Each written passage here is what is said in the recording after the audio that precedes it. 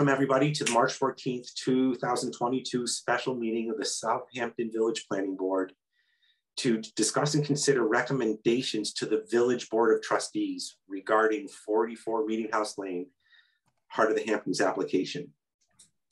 So the way we're going to structure this meeting is I'm, when I'm done Uh, talking, Can can we get a motion to open the meeting, please? yes, get a motion to open the meeting, please. A second. So. Motion. Did- Tony, did you make that motion? Yes, I'd like to make a- a motion to open the meeting. Great. And we have a second. All in I'll second. favor? Aye. All right, Aye. Jane? okay. Aye, aye, aye, sorry. Thank you, sorry. Need you for the quorum. Okay, so um, the way we're gonna structure tonight, we're, I'm, when I'm done talking, I'm gonna turn it over to Alex Wallach to give a brief introduction to the application and um, then we'll hear from Linda Riley, the applicant's attorney. And then we're gonna turn it over to Kathy to put some documents on the screen that with issues that we need to discuss. And um, if there's anybody from the public in the audience, they're welcome to listen, but we're not going to open tonight's meeting to public comment because there's going to be plenty of opportunity for that when site plan review comes up. Um, and then there's also the opportunity to do written comment throughout this period. So Alex, are you ready to give us a overview? Sure. So thank you for that. Um, so as uh, Mr. Chairman said, this is a special meeting to discuss 44 Meeting House Lane. Um, and the reason that we're gathered here today is there's a relatively uh, recent uh, village local law that creates a special exception use for a food pantry, among other uses. Um, and that's an application that's made to the village trustees. And part of uh, the code says uh, when an application is made, it's referred to the planning board for its recommendation. So the purpose of tonight's meeting um, is to review the application and make a recommendation to the trustees. So it's a little bit different of a type of application than you may be used to, to doing. So we're not being asked to approve or disapprove a site plan. Um, that will come later if and when the trustees approve this use. Um, it's really in an advisory capacity to make a recommendation um, to the trustees. So in consideration of that um, special uh, exception use, there's a series of general criteria uh, in the code that I think will, the applicant will probably address and that we'll, we'll look through. Those criteria um, apply to all special exception uses, uh, some of which are um, trustees, others are issued by the Board of Appeals. And then there's a set of specific uh, criteria that apply specifically to food pantries um, that we'll take a look at as well. Jim, was there anything else that we wanted to address or did you want um, to open it up for any questions the board has at this point? Does the board have any questions at this point? I think we should. Um, we're going to go into this in much more detail, but if there are any questions with, with anything that Alex has said, bring them up now. And I'll mention, uh, as Mr. Chairman said, this is not um, a public hearing. This is just a, an opportunity for the board um, to make, issue a recommendation to the trustees. The reason why we're doing this as a special meeting is that the trustees have scheduled this for a special hearing. They're going to be hearing this on the 29th in two weeks. Um, and there wouldn't have been enough time for the board to take a look at this in, um, in the course of their normal meetings. Uh, but the trustees meeting will be a public hearing, so the public will be able to comment at that point. Um, and if and when the special use is approved at that point, it'll come back to this board for a typical site plan review, in which case the board can schedule a public hearing. So will be, those will be the, opportunities where um, this will come back to this board. Yeah, I guess I have a general question about um, the recommendation that we're making. Is it because in other matters, it's a recommend approval, recommend not approve, or recommend with conditions? Is this just a straight, we're recommending, you know, what it, what is entailed in the recommendation or not?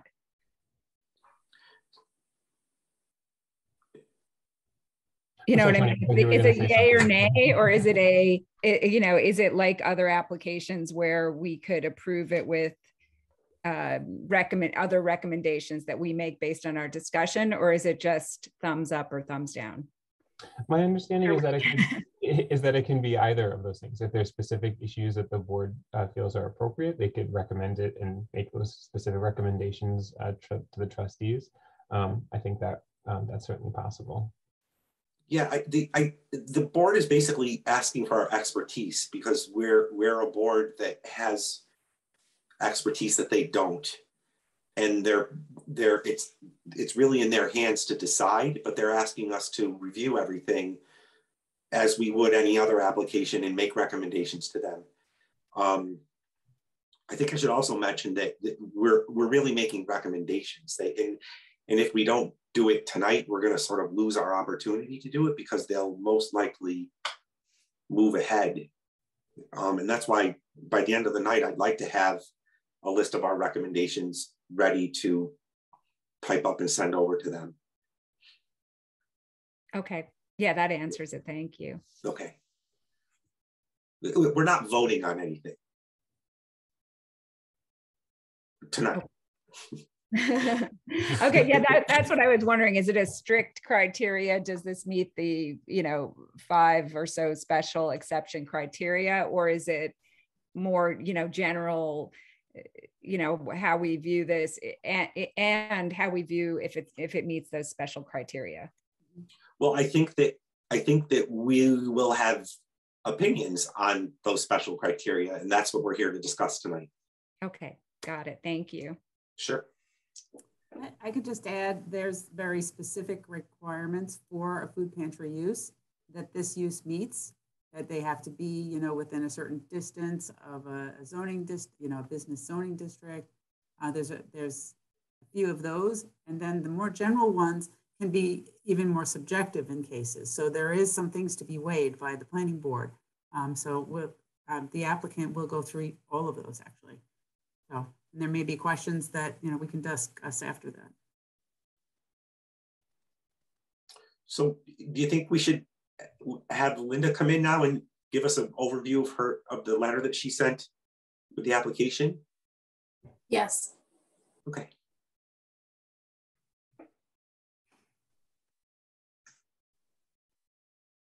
Sh- I'm bringing her in.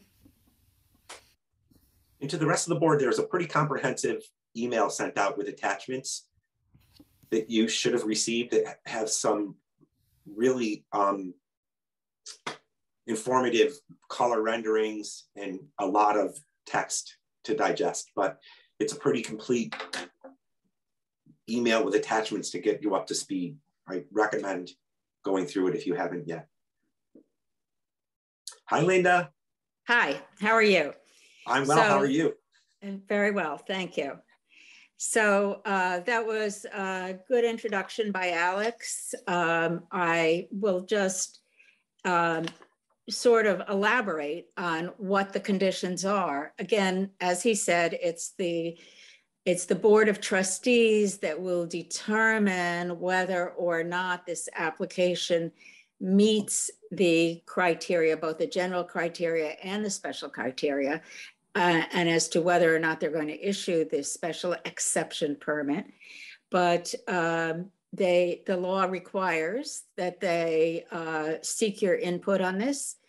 And so um, I'll get right down first to some of the general criteria um, because I, I think that's it's it's more generalized and maybe something more uh, that particular to you in terms of things that you might want to opine on. Um, so my memo does uh, the the the application that was submitted to the Board of Trustees, which is what you have received today, a copy of, um, does outline specifically each one of the general criteria in the code that have to be met on any special exception application, not just this one. Some of them uh, apply to this use, some of them not so much. But the, the very first of the criteria is that the that the use is in harmony with and promotes the general purposes and intent of the zoning code as a whole.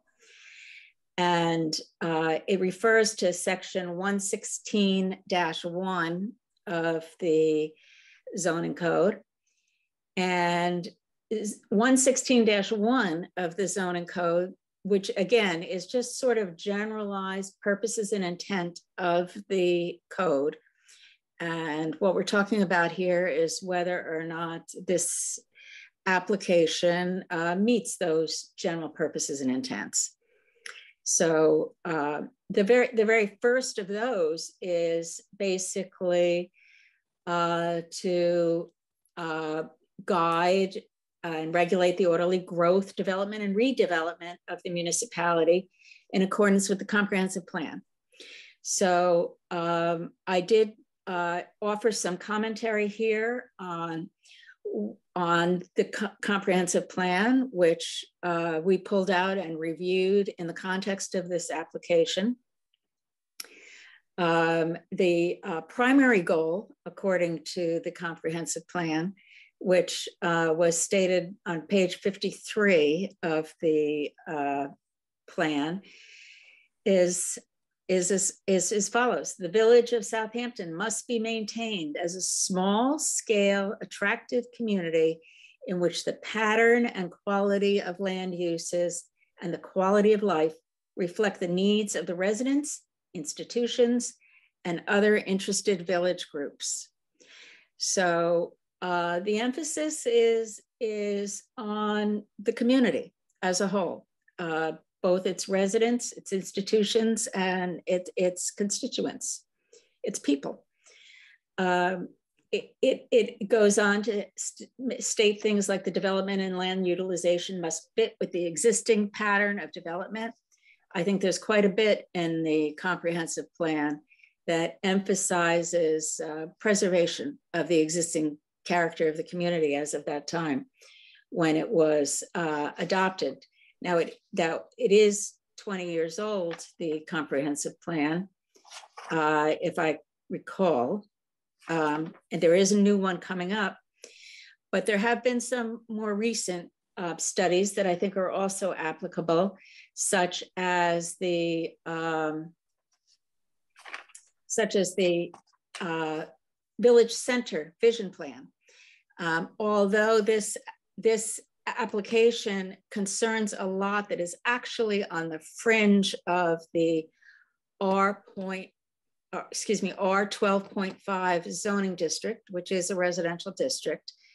Uh, it abuts uh, the village business district and the Southampton Village Center vision plan um, deals with uh, not only the actual zoning district, the village business district, but, but also the peripheral areas, uh, some of which are not village business, like uh, Windmill Lane.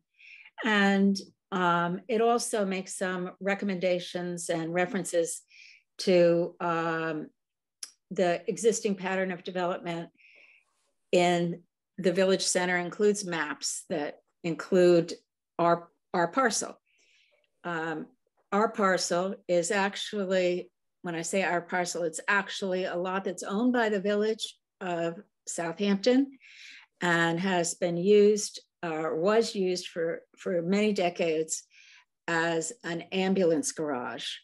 Before uh, the ambulance garage was erected, it was uh, a vacant lot. It has never been used as a single family residence, uh, to my knowledge. Um, but seems to have been um, pretty much developed as an ambulance garage. And, and the character of the building sort of reflects its municipal intent and use. It's, it's a brick building, uh, relatively small in scale.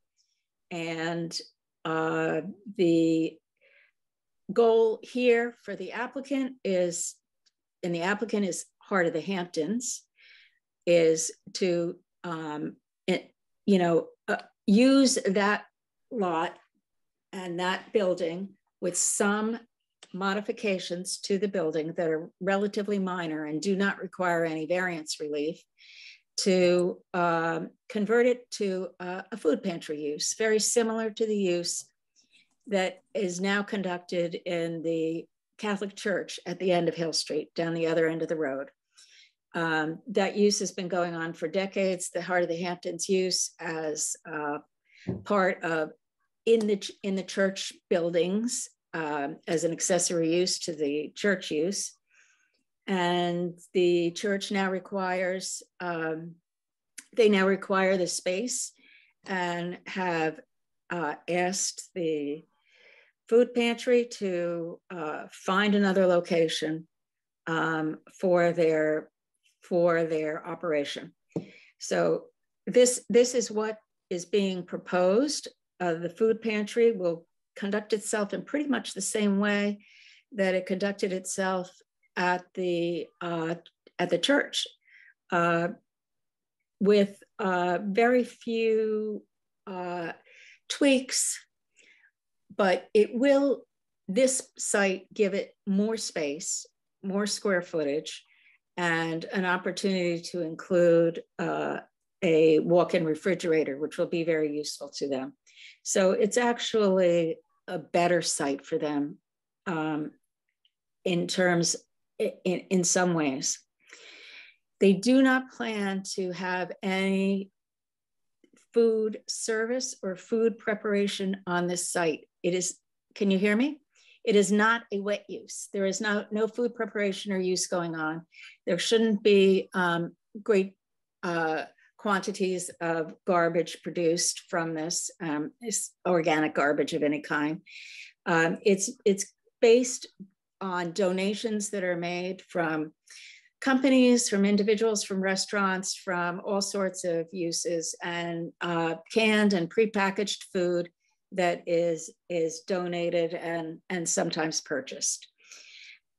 The food pantry in the past, and this is the the um, plan in the future, has been uh, open to clients twice a week, uh, two weekdays during the week uh, where, and there is no, um, and basically the process has been to, to line up the cars and um, deliver stuff to the cars directly. People do not generally get out of the car and go to visit the food pantry themselves.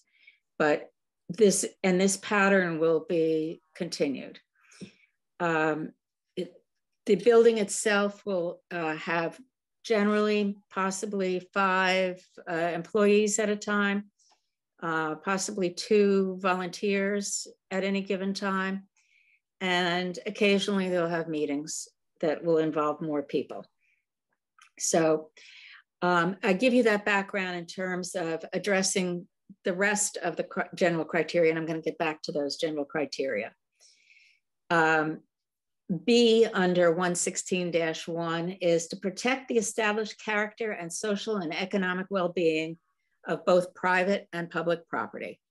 Um, in this case, uh, we think the continuation of a service to the community use, as the ambulance garage was, as the food pantry will be, is, is uh, protective of the established character. Um, this is a building that that used to have ambulances uh, uh, going, coming and going at, at all hours. Um, this, in fact, will be a bit quieter because it will not be open at night except for early evening hours and only on occasional basis for meetings. Uh, their their mission will be accomplished uh, largely largely during regular weekdays. And so we think that criteria is met. The next one is to promote the utilization of land for purposes for which it is most appropriate. And again, because of the historical community use of this facility, uh, we, we submit that this proposed use is going to preserve the quality of, of the existing neighborhood and um, and to this, I'll refer, uh, you know, going back to the master plan again, there is no suggestion in any of those plans that this lot be converted to a residential use. Um, it is uh, consistent, I think, with that, with that goal. D is to secure the maximum recharge in terms of fresh groundwater reservoirs and, and uh, watershed features I think that's a, a criteria that um, is basically inapplicable to this. There are no uh, wetlands in the area. It is not really a watershed area. It will have no effect uh, that anyone can demonstrate on freshwater uh, or groundwater resources. It's going to have, you know, just one bathroom for use of the employees, and basically that's it. Um, the next criteria is to protect and promote the fisheries and resort industries of the municipality. Again, that particular general goal and criteria isn't particularly applicable here.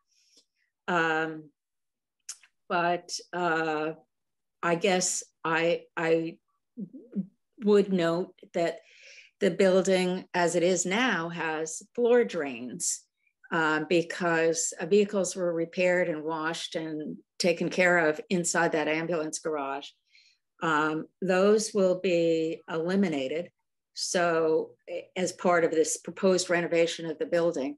So, actually, it should have uh, the proposed use less impact on, on those uh, uh, water resources. The next is just to secure safety from fire, panic, flood, storm, etc., and to provide adequate light, air, and convenience and access, and to prevent environmental pollution. Again, uh, the the main the, the existing building is going to be used largely as a storage area for food supplies. That's the, the most of the main floor will be devoted to storage of supplies. And uh, there will be some office space on the second floor that is proposed to be converted out of existing attic space with a new dormer. Um, there are, I think, three three offices up there. We have the architect here, and he can he can show you what the plan is. But um, that is uh, not going to, I think, unduly interfere with anybody's uh, light or create any fire or other kinds of dangerous situations. Um, the, the, the lot itself has five parking spaces on it now. And the, I, the proposal is, again, to use the Presbyterian Church parking lot which uh, the Presbyterian Church has uh, agreed to do, um, to uh, devise and maintain an access for trucks delivering supplies to the building, as well as a, uh, a lineup process for certain hours of two weekdays, maybe two, three hours a day on two weekdays for clients to come and uh, pick up uh, prepackaged boxes of food that will be delivered to each of them. Um, this is a process that has worked well at the church, and uh, we had a traffic. We, we, there is a traffic assessment that was part of the package, completed by VHB Engineering, which uh, is attached to the package, and concluded that uh, there would not be any adverse impact on traffic or parking conditions in the local area as a result of this proposed use. On the next criteria, criteria is to prevent overcrowding of land and buildings and, uh, and reduce or eliminate or avoid undue concentrations of people or population. And uh, this will add uh, literally no population to, to the village uh, at all. It's designed to serve an existing community that uses a similar site, um, essentially, you know, several blocks to the east. Or is it west? Sorry, it's to the west, several blocks to the west. Um, the uh, next criteria is to conserve the value of buildings and enhance the value of the land throughout the municipality. Um, and although we recognize that there are uh, a couple, uh, two really houses that are directly adjacent to this site, um, it, it has the site has a long history, again, of, of being used for municipal purposes. And uh, there's, I think, no reason to find under the protocol that the food pantry plans to use that there will be any um, significant impact on the adjacent residences um, and, or impact on the value of their land, frankly. Um, the uh, and here I'll point out that it is a type two uh, action under SEQRA. Um, the, the actual uh, uh, operation of a food pantry, at least because it falls under a section of the SEQRA statute that provides that construction or expansion of non-residential facilities involving less than 4,000 square feet of floor area and not involving a change in zoning or a use variance um, is uh, a type two action, not subject to any further review under SEQRA. Um, so the next uh, criteria under the generalized stuff is to provide housing sites for residents of the community compatible with their economic means. This will not do that, but it, it's, it's um, I think, another example of a criteria that is not relevant to our application. Um, the next criteria under J is to lessen and where possible to prevent traffic congestion on public streets and highways. Of course, there is uh, throughout the village and certainly through the central village, uh, traffic, uh, particularly in the summer months, that uh, is of concern to the, and has been for a long time to the village as a whole. Um, this is um, generally worse in the summer and exacerbated a bit at the end of a workday and the beginning of a workday as the so-called trade parade uh, moves through. Um, we've been careful in this application to design a protocol for service that uh, that keeps uh, the keeps the most of the traffic away from the site at uh, the morning rush hour and the evening rush hour during the work days. And uh, we also pointed out in our recitation that the um, food pantry uh, experiences much heavier demand in the winter months than it does in the summer months. Uh, the population in the in the neighborhood, uh, the working working population has uh, apparently a better time finding and and and being employed on a on a full-time basis in the summer than in the winter and there are typically far fewer uh, uh, visits to the food pantry during the summer months when the traffic is greatest.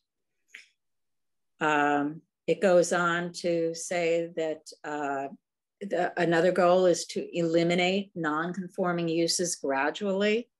Um, I would argue that this is not a non-conforming use. It's a pre-existing use as a municipal facility. It is owned by the village. And because it is owned by the village, it is very unlikely to ever be converted into a one family residence. Um, and uh, municipal uses uh, generally are uh, allowed under special exception permits in residential areas. And again, this is right on the edge. It is uh, on the cusp. The final one is to conserve and reasonably protect the natural scenic beauty and cultural and historic resource, resources of the municipality and its environs. Here we have uh, a site that is directly across the street from a museum, uh, which gets a uh, fair amount of activity, but particularly, I think on the weekends, probably more than during the week. Um, and and same thing with it's adjacent to a Presbyterian church, which uh, likewise it uh, gets a fair amount of use. These are active um, cultural and religious centers uh, that again are have probably more use and more visitors during the weekends when this this food pantry will have less. So turning then, that was all for the first general condition. Uh, turning then to the rest of the list of the general conditions. B says the plot area is sufficient, appropriate, and adequate for the use and the reasonably anticipated operation um, thereof. So uh, we think that because uh, we've demonstrated that the uh, use was appropriate and quiet and uh, resulted in no issues at the church, and this is actually a larger site uh, for the, the food pantry operation, not for the entire church, but for that discrete application. It's a, it's a larger site and a, a more square footage to devote to it. It's um, clearly going to be appropriate and adequate. Uh, C is that the proposed use will not prevent the ordinary and reasonable, orderly, excuse me, the orderly and reasonable use of adjacent properties, particularly where they are in a different district. So um, this is where I think uh, we need to uh, recognize that it is in a R 12.5 district, albeit on the very edge of it, and that uh, and that there are residential neighbors, two of them, and an, a, a residential neighborhood uh, behind and and to the west. Um, again, uh, I don't want to repeat the schedule that they're going to use uh, because I've, I've done that um, at, you know, and, several instances in covering these criteria. But the building will be empty and dark almost all of the evening and weekend hours. Uh, and it is proposed to be screened with tall evergreens. And uh, the offices on the second floor, which will be used um, for meetings and employees use really only, are, uh, un, are within the existing um, attic space. Uh, there will just be one dormer added.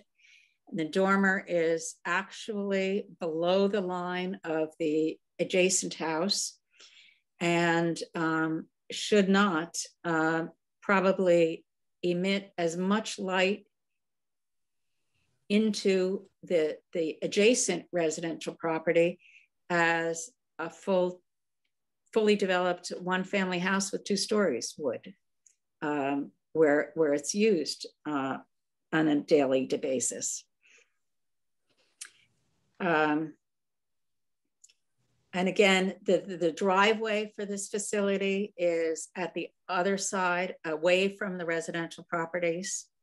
And the, the majority of the traffic will be going through the uh, parking lot of the Presbyterian Church, which again is on the other side um, of the um, adjacent neighbor.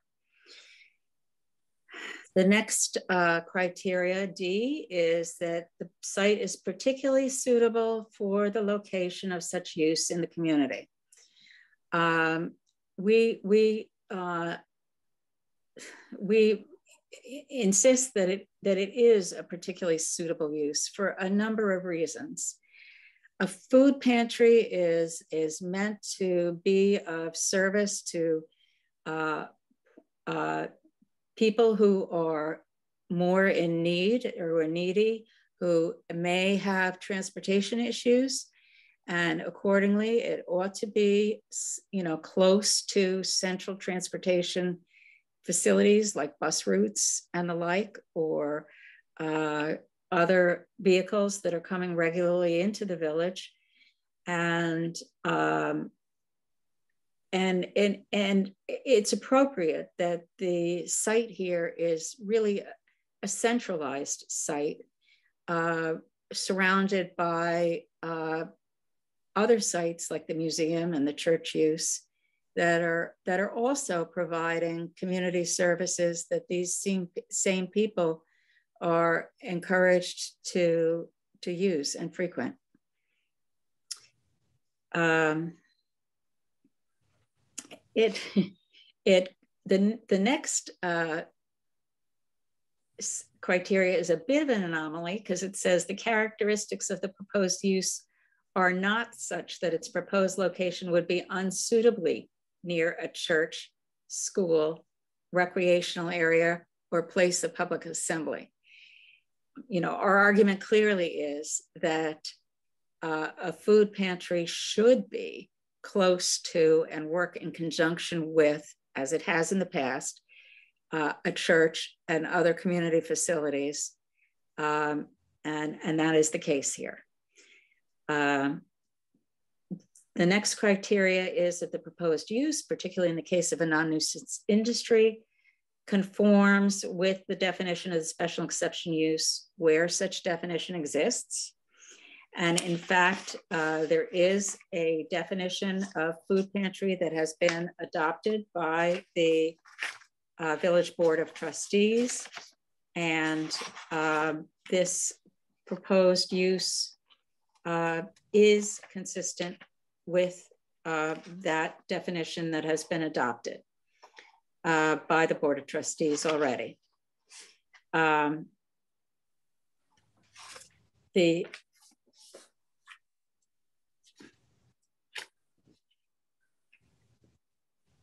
The next criterion is uh, that access facilities are adequate for the estimated traffic from public streets and sidewalks so as to assure public safety and to avoid traffic congestion and further vehicular entrances and exits shall be clearly visible from the street and not be within 75 feet of an intersection uh, a street intersection except under unusual circumstances.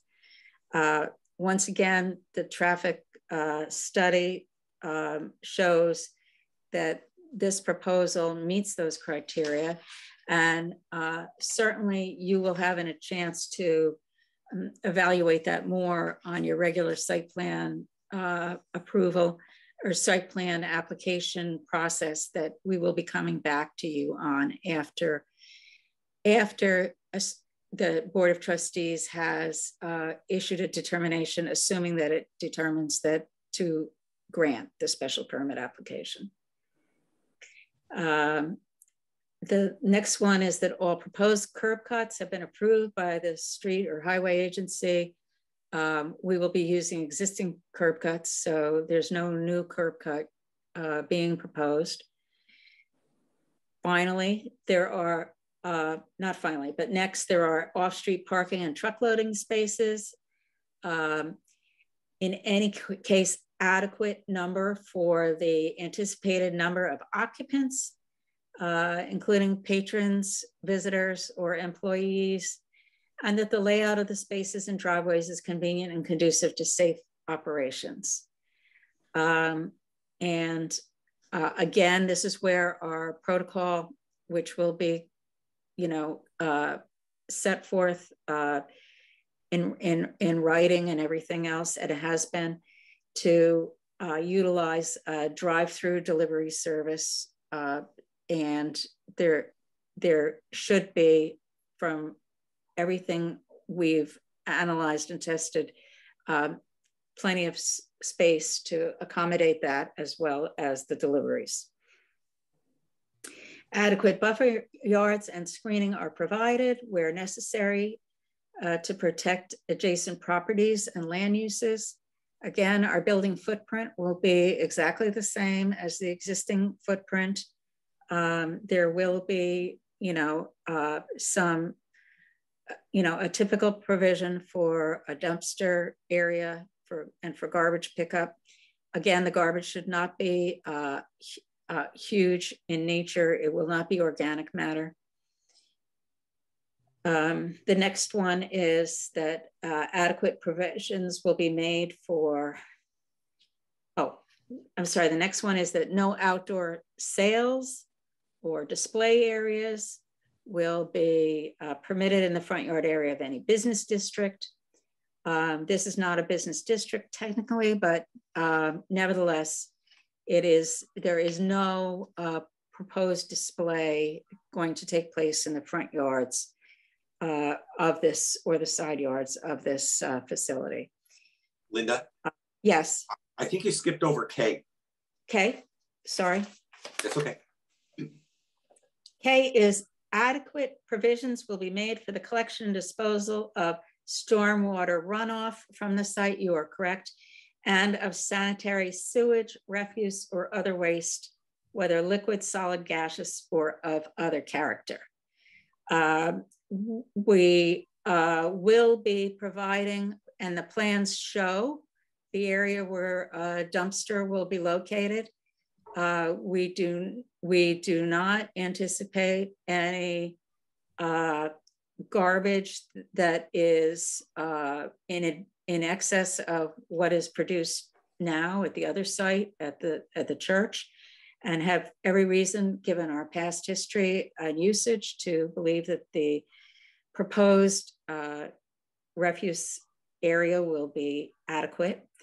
And uh, we are we will comply with all uh, sewage requirements. Um, and again that will be something that you will be considering further as part of your regular site plan approval process. Um, so then we get to the special conditions I think that covers the general conditions. Um, I, I, glossed over some of it. There's a more detailed uh, summary and an argument made in the, in the proposal that was submitted to the Board of Trustees. And again, we can demonstrate some of these things on the screen by posting the plans, uh, which we can get to in a minute. Here are the special conditions. The area of the lot containing the food pantry shall not, not be less than 10,000 square feet. The area of this lot is closer to 15,000 square feet. It is precisely 14,321 square feet in area. Uh, the second criteria is it shall not be located at a distance greater than 100 feet from a business zoning district. It is adjacent to the village business district. So that is certainly less than 100 square feet, uh, uh, less than 100 feet distant. It's adjacent to it. The next one is that it shall not be located at a distance greater than 500 feet from a roadway right of way as defined by New York State Department of Transportation as a principal artery, a minor arterial, or a major collector street. And uh, with respect to this criteria, we attached a copy of the um, map from the Dep Department of Transportation which um, diagrams the location in this area of principal arterial, minor arterial, and major collector streets. And we are not greater than 500 feet from, from those streets. South Main Street is a major collector roadway, and it is within 500 feet of 44 Meeting House Lane. Um, the next criteria is the lot containing the food pantry shall contain an existing institutional use or adjoin a lot that contains an existing institutional use. And in the case of an adjoining institutional use, said adjoining use shall have frontage on the same roadway as the lot containing the food pantry. So again, um, this meets that criteria two, two ways. It is, has always been an institutional use. It is owned by the village.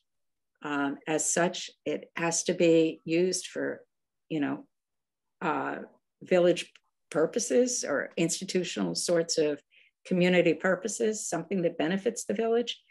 And it does have share road frontage uh, as with uh, the church, um, which is also, uh, I think you would consider it an institutional use. Um, the second, the, the fifth criteria E is that the lot containing the food pantry shall not contain an existing residential use. It does not. There is no residential use on this lot, or has there ever been. And finally, the number of food pantries permitted as a special exception use in the village of Southampton shall not exceed two at any given time.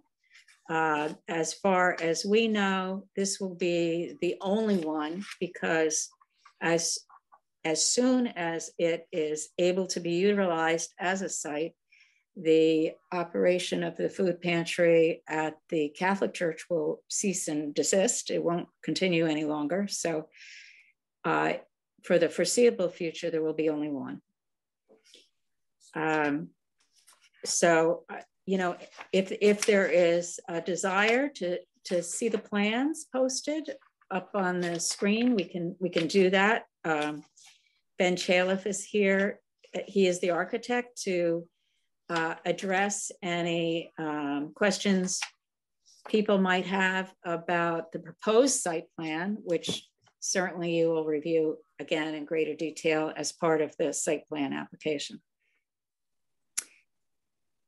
But I'll turn it back to the board.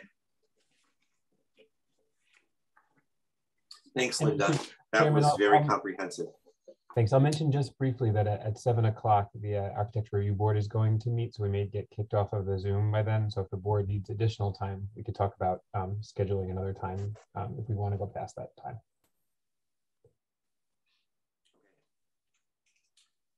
Thanks, Alex. Um, I'm not sure how best to proceed. I'm sure the board has questions. Do we want to just um, start with the special exemption use like the, the list A through M and go through them individually and ask questions? Well, again, that's that's really uh, the job of the uh, board of trustees. I I think, given the time constraints here, you could safely uh, skip the ones that are clearly inapplicable uh, to this application because they are generalized. But th but that it's up to you. I'm not going to uh, Mr. Chairman, I, I would suggest at least briefly going through um, A through, I think it was B through D. Okay. And maybe I and J. Okay. Okay, so B is the plot area is sufficient, appropriate, and adequate for the use and reasonably anticipated operation and expansion thereof. And I, and I, would just point out that the, the special criteria does set forth um, a, an a, adequate size for this use, and that's 10,000 square feet, which the site meets. Okay.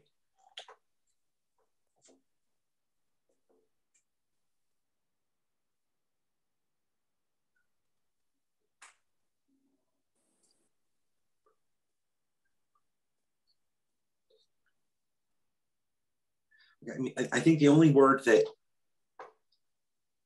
in this um, clause that sort of comes to my attention is expansion.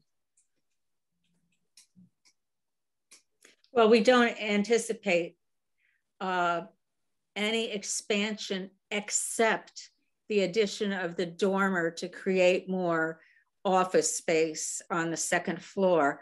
And, um, and clearly, uh, since it's within the same footprint and no variance relief is is going to be required or requested, um, I think we could say that uh, I think you could conclude that it does um, is sufficient for the anticipated expansion. Is there a, a limit to the number of clients that you could serve? Uh, no, it varies. Uh, there is no per se limit. Uh, it tends to be somewhere around 60 clients in the summer months and uh, more in, uh, I, I think it was like closer to 200 sometimes in the, in the dead of winter. But again, they, they don't, they will not be parking and knocking on the door and they will be lined up at pre-appointed times and it, it will, it will be a circulation. It's pre-appointed, okay. It's not like two hundred cars are showing up at once. Well, there, there, there, there will be two days a week when they can, they can come for certain appointed hours, yes. Oh, okay, so there is a potential of that. Does the rest of the board have any questions or input? Well, I guess, yeah, I mean, the, the lease predated the special exception, um, but nothing in the lease would prevent the pantry from changing the schedule or is the village, you know, saying that they're gonna keep to the current use and not expand the use? Because if, if we're being asked to evaluate it based on its current operation, but a, you know, a long-term lease is signed, is there anything to prevent the use from changing? Well, the, the village is, the village board of trustees will be perfectly free to um, put conditions on, on, as they see fit on, on the operation. Uh, We're, we're, we're saying, um, and we're perfectly willing to stipulate to this, that um, this protocol will be utilized. It is, it is the plan and what we're proposing to do. Um, so I, I don't, and, and we are, as the food pantry uh, is proposed to be the sole occupant uh, primarily of the building. I will also point out that it used to be, uh, it has been used more recently since the ambulance garage moved. Um, it's been used for COVID testing. And that, that same, um, that, that same procedure was implemented with the COVID testing. Uh, cars came in, they lined up when there was a waiting line, and uh, people were uh, taken care of right there in their cars. Um, and then they left. Um, it'll and it, it, it worked for the COVID testing. Great. That's good to know. Trial run by fire. Yeah, I guess the reason I'm wondering that because food pantries are usually attached historically or traditionally have often been in a church or in a synagogue or in a school. So they're kind of limited by the hours that of churches and schools, which are, you know, much more limited. So this since it's a standalone and since there's a pre-existing lease already with the village, you know, can can the neighbors or whomever be guaranteed that the use will be as described is is is kind of the question. Well uh, again if if the board of trustees feels that it's necessary to stipulate that it will only be uh, used for pickup and deliveries uh, during certain weekday hours um, that's all within our proposal and we would have no objection to that uh, in fact, it's what we propose, So. Okay, thanks.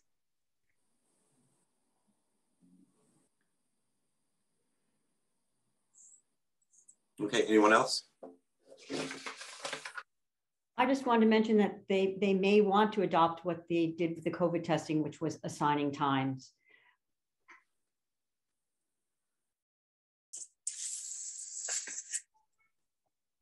That's what I thought Linda was referring to, that it was like half hour windows during those two to three hour periods.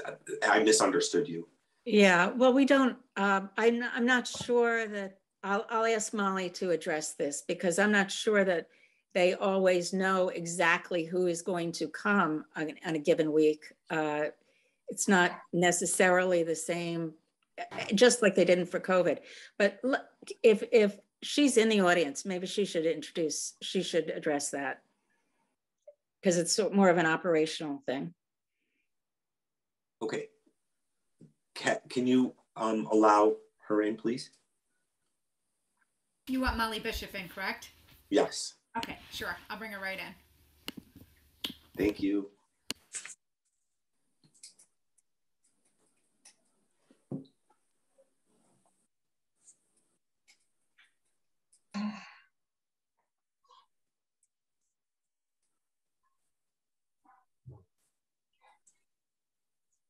Hi, everybody. Um, I just wanted to address uh, what, what Willa was asking. And uh, right now we are open to clients Wednesdays and Fridays from 10 a.m. to 12 noon. Uh, occasionally on Wednesdays, we do have three cars waiting for us to open, three or four cars. But then after that first few minutes, um, which certainly the parking lot could hold three or four cars while we wait to serve them. Um, but after that, it is a pretty um, steady but not, you know, heavy uh, line of cars. Some, you know, they come uh, spaced out generally uh, uh, uh on their own. Uh, we have said that we would be open to modifying our schedule um, to make sure that it works best for the neighborhood. Um, if that means that Friday mornings just doesn't seem like a good idea anymore, we could switch to Wednesday, Thursday. If it seemed like too many people were coming and we wanted to expand that over three hours instead of two, we certainly would be open to that. We really are committed to being the best neighbors we can possibly be to both the business district, the church, and the residents. And so we will do our best to, to just keep a close monitor on that and then adjust. Um, our clients are very open to adjusting, so we're not worried about inconveniencing people. Uh, you know, with enough notice, uh, people have adjusted to a lot of changes in our operations over the years. Uh, and like Linda said, in the summer, we see 60 families total for the whole week. So that's over Wednesday and Friday. And then in the winter months, we're seeing about 150 families, um, again, over the, the, the two days. Um, and a lot of times families do carpools. So it's not 150 cars. A lot of times we have um, neighbors that pick up for each other or, um, you know, neighbors that, that carpool together and come. Thanks, Molly. Yeah. Okay, so um, I'm going to move on to C unless unless any other board members have questions. Okay. The proposed use will not prevent the orderly and reasonable use of adjacent properties, particularly where they are in a different district.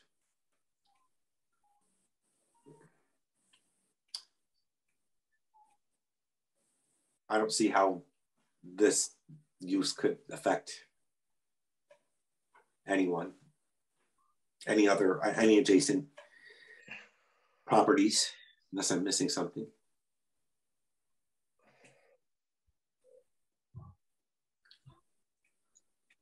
Well, uh, uh, Tony, this, I don't know how, what people's background is. I've accidentally have modest background. I've been in the in the operation at, at the church for a large part of the period that Molly's predecessor was involved. Hilton Crosby came in on short notice and uh, I don't know what he's doing next. Thank goodness he got Molly to take over. I've known the operation in all of its uh, and some of its board and the people that work there and everything else for I can't remember the number of years. Um, I walk that distance frequently to walk from my house down by the blinking light by the reservation into the by the movie theater and back frequently. I've got data that's purely anecdotal. I've seen a couple of cars there. I've seen in the winter months you know, pooling and otherwise, uh, I count them 20 to 25 because I keep track of the volume because I got people, you know, uh, I make donations and I got people dealing with food and everything else. It is clearly volatile. It's gone from Wednesdays in the morning, uh, people pulling in, getting their food, and generally going in and through the back parking lot around and out the other exit from the church not doing that parking lot is very confusing because they it's get huge use for the nursery school and the protocol has to be maintained there uh, with some rigor i'm sure that's what molly does now i, I know that uh, hilton struggled with it um, and I think, I don't know how the village, the trustees are going to do. um, We're, we're not proving this so much as saying if the trustees want to do this, what concerns us with the rest of the planning? I maybe, I can't remember who, who all was involved with it. Maybe Jane was with us. We were told that we had to approve the new ambulance barn because Meeting House Lane was entirely too crowded with the ambulances ever to be useful for the ambulances. And that Windmill Lane was a far wider and easy to use road. I've been through a lot of traffic studies. I've hired some. traffic studies are governed by their assumptions. This is this is going to as long as the hospital doesn't move, which of course is happening every day now, but it hasn't yet. This is a still a very busy road, and I do not believe Meeting House Lane in this area, say from there to, to Little Neck, is anywhere near as wide as Hill Street. When 25 cars park, and they're good cars, they're, they're better than my cars. I wish I owned some of the clients' cars that Molly's helping because they got good vehicles. And if they can carpool, that's wonderful. But they're good cars. They sit there patiently and they wait their turn and they turn in, you know, two or three at a time. And, and the workers come out and I guess give them bags and packages sometimes through the window. If that's going to be there, I hope there's some very specific agreement with the Presbyterian Church. I'm not a congregate there. I go to it often. I know they're active on weekends. I've had children go to the, uh, uh, children's activities there over the years in the evenings and, and late afternoon. So it's not a just Sunday operation. And you can talk to Tom Edmonds and the people next door. I I've parked in the parking lot often to go to stuff at the historical museum. Other people, a lot of people have. It's been crowded. So how Molly's going to coordinate with these other institutions, which Linda Linda laid out the whole thing. I'm sure what you went through, Linda, was in the file. I'm on grandparent duty unexpectedly, and I won't be back in Southampton until uh, Tuesday night. So I I couldn't read the stuff except I got it at four o'clock over the internet and uh, three o'clock over the internet because Kathy sent it to us, thank goodness. And I read it as fast and as long as I could until I couldn't get in through the to Zoom. And I mean, it's all it's all standard stuff. It's got nothing really to do with the technicality of it or for the neighbors and all, but it has to do with what you keep referring to, the plan. And Molly's in charge. I mean, if, if she can get the people to agree to get the food, it's a great idea. It's a wonderful thing to have that capacity but how it's going to coordinate with the Presbyterian Church and as let's call it in the shoulder of COVID. COVID made the institution. It increased its, its likelihood exponentially. It's faded some, but not completely, because the community keeps growing and these these families need help and they're used to it. I'm sure it's great for them to have. And you know, summer, winter, so forth. But how she coordinates with those two institutions is, is going to be the key to the success. And the complaints will go to whoever's been elected. They'll, they'll, call somebody up in Village Hall and say, "How can you let these guys get in the way of something or other?" And if it's in, if it's if it's out of the the, the crush of getting from the hospital elsewhere on that road, that road gets the traffic and surges. If you if you deal with Hill Street or Job's Lane, you know it is surge traffic.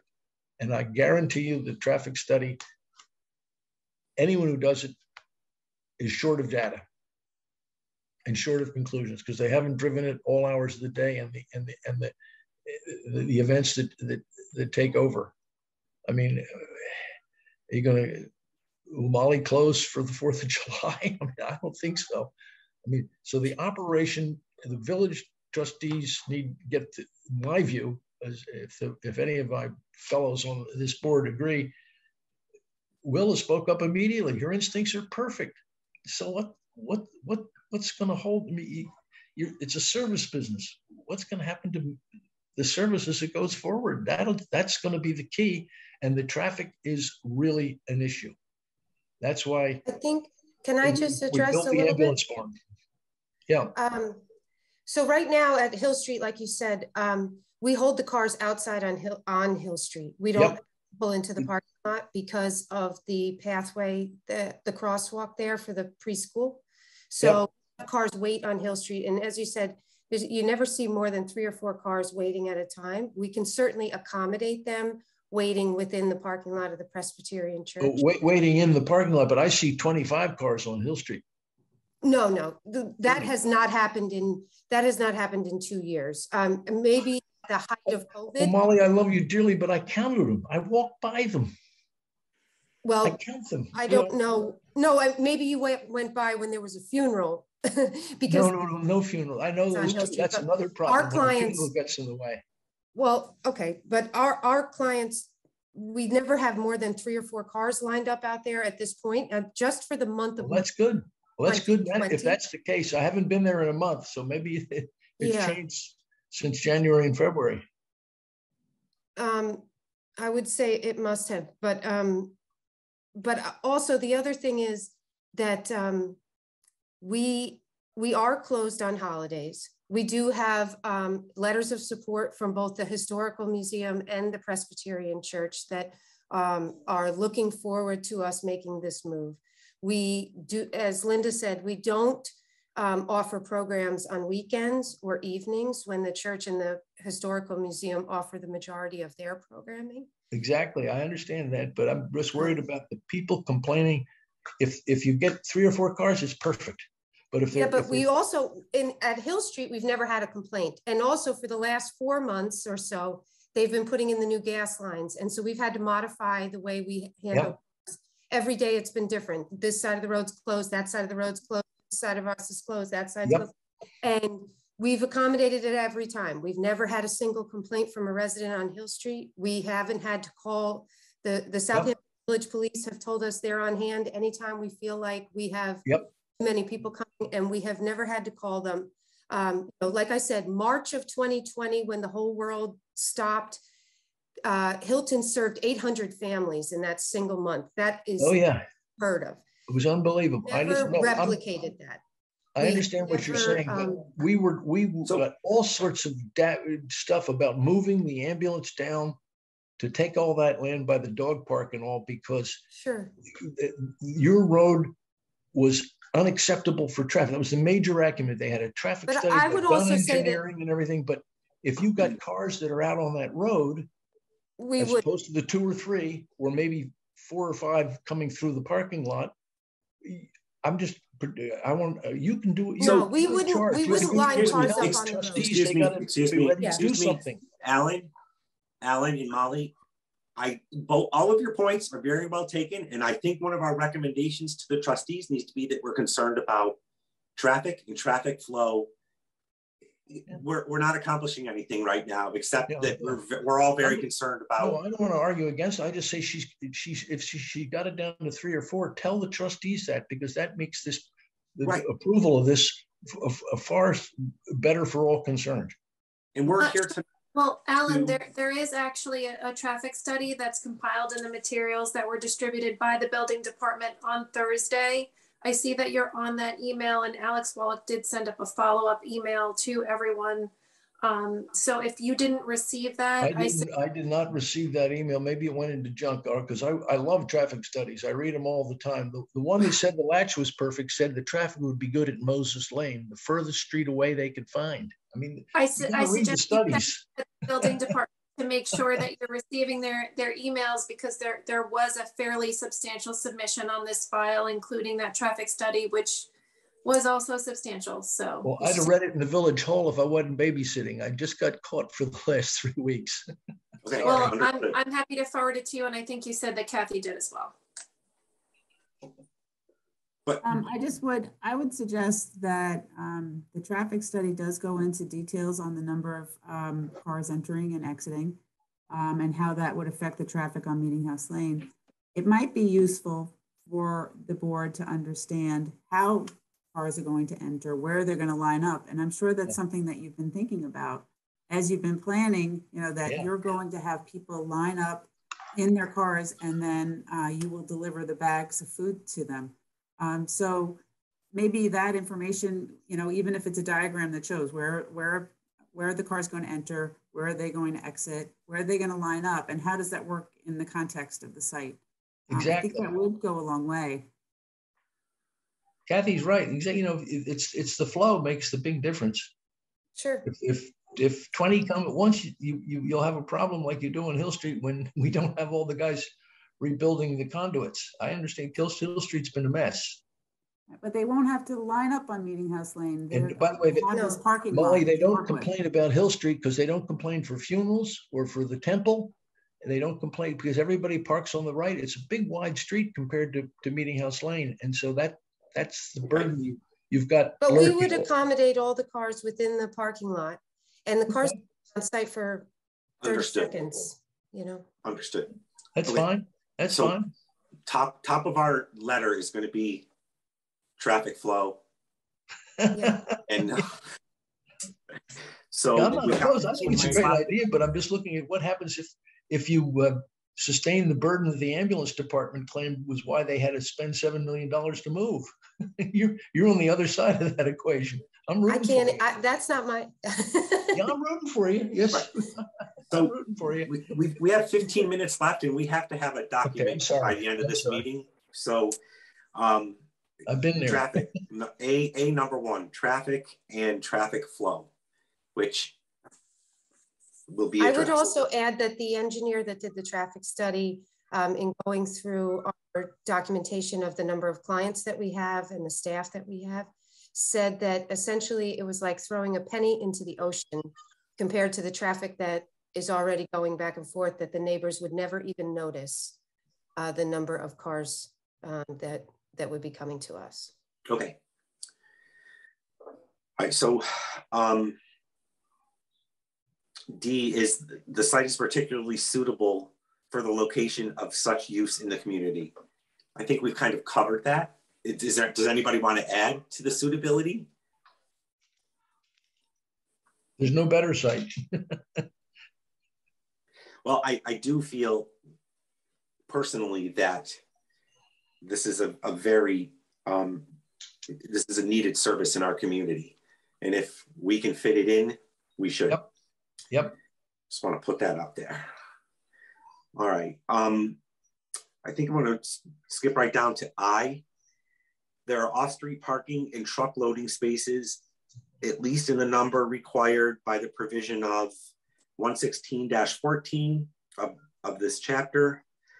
But in any case, an adequate number of the anticipated number of occupants, both employees and patrons or visitors. And further, the layout of spaces and driveways is convenient and conducive to safe operation. That's another thing that I think we've covered in the past 10 minutes. And Molly, made it really clear that there's no intent for traffic to line up on Meeting House Lane because it's impossible. There's no space there. People will be directed into the parking lot and you're going to decide how. We have a staff member that stands there and directs cars, and we have staff and volunteers all throughout the uh, drive-through process to keep cars moving. And um, the other thing I would add to this is that also the Village Board of Trustees, in passing the definition for a food pantry, um, superseded this by saying that uh, a food pantry must have five parking spots, which we um, we do have five parking spots um, on site. Great. And then um, item J is adequate buffer yards and screening are provided where necessary to protect adjacent properties and land use. I saw, I, I took a look at the, um, the new site plan that is in the, was in the Dropbox file that was passed around and the screening looks adequate to me.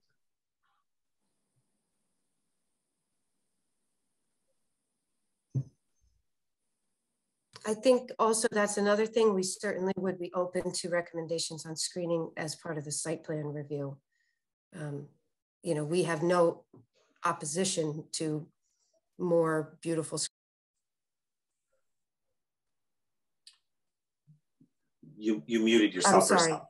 Well, we have no opposition to more screening. You know, we want I think on, I look think on the east, I think on the east side of the property, it might be the height of the screening not necessarily because of the structure that you're moving into, but the structure next to it. Mm-hmm. And that's easily resolved with the selection of the proper plant material. And there's already existing, well, there's already existing probably eight foot at least arborvitae yeah. there. And so we are proposing a secondary row. And uh, we modified our plans to move uh, the walk-in to the back. And so we're gonna keep the existing uh, tree there too. So um, there's already significant screening uh, that goes beyond the roof line of the building as it is. Does the does the property to the east have windows that would look down into this property? They do have windows. They Do. That would, like so our that, windows would come in between their their two floors probably. Right, but maybe if the second row you planted grew to the point where it could offer yeah. some screening to their second story down into the property, they might appreciate that. So yeah. I'm on another meeting. I'm on mute. Um, okay. Are, we're we're running we're running quick very quickly low on time, and I just want to I guess open up up to the board. Are there are there any other general concerns that you have that we should put in our recommendations to the trustees? Well, I guess while we're everyone's here, I just wanted to ask because Linda's report said that there would be um, frequent garbage removal. So I just was wondering how frequent that is, and then whether the dumpster is an open dumpster. But you mentioned that it's not um, any organic food. So um, that would that was one. I just wanted wondered what um, that schedule would, would be in terms of sure. the residential neighbors, so, and then Oh, just one oh. more thing. What number two is that I read something where the garage doors are going to stay, but do, do in terms of food being kept there, are garage doors? Does that make it you know a conditioned space where you know um, that would be safe for food? You know, um, yeah, protection. So with the garbage, um, right now we only have once a week garbage pickup at the church. Also, the majority of our garbage is cardboard from boxes. Um, the rest of it is just office paper. We don't, as Linda said, we don't throw out food, we give it away. Um, and we would set up uh, a schedule along with the church. So the church gets their garbage picked up from Norsec, as would we, and we would just, you know, schedule to be on the same pickup. So no additional um, inconvenience to anyone. Um, although the church did say they sometimes get their garbage picked up too early for the pastor, we might try to figure that out for her to sleep 30. You know, if, if you um, ever, Molly, if you ever have any organic waste, there's a um, a service that comes around and picks it up and composts it. Oh yeah. So you could hop on board that. with them. Yes, that that's great. Yeah. Um, and then uh, the garage doors, the plans actually show we, we would close in one side of the garage and we would try to match the existing brick um, to close in and then match um, windows the way they would be at the top of the garage door. So from the road, it's not going to look that much different, but we do need to be able to climate control it to make it safe for food. Um, so that would be the plan. And, and then to try to keep the other garage door, but secure it enough from the elements um, so that we could open it up and easily take in deliveries um, with a pallet loader. Okay. Great. Anything else?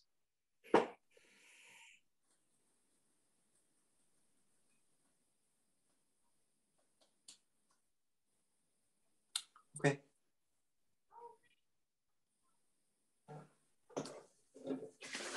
So I guess that's it. Um, Alex and Kathy, how do we go about generating this letter to the trustees? I think Kathy and I can work on a draft together, and uh, it, it, sounds to me like the the conditions that uh, the board wants the board of trustees to consider uh, is just the traffic and traffic flow on site. Yep. Was there anything yeah. else? Well, I think that the willingness to modify schedules as needed.